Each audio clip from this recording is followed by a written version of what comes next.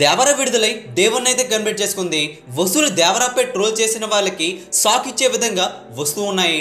Fan India film దేవర చిత్రం pan India సినిమాల మాదిరిగాని Devine పూర్తి చేసుకుందా లేదో తెలుసుకుందాం పదండి. Pan India star Prabhas Baahubali two చిత్రం డేవన్ బాక్స్ ఆఫీస్ దగ్గర బ్రహ్మాండంగా వసూలనైతే అందుకుంది.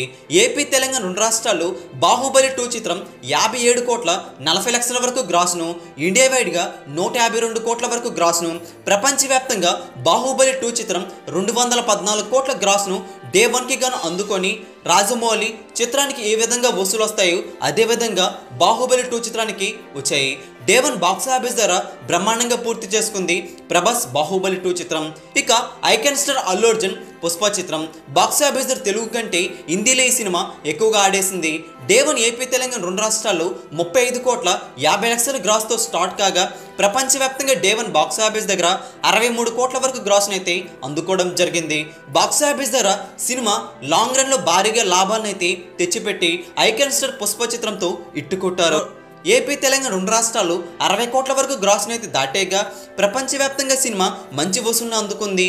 ఓవర్సీస్లో సినిమా నలభై కోట్ల వరకు చేరువై గ్రాస్ని అయితే అందుకోగా హిందీలో కూడా జోరునైతే చూపించింది.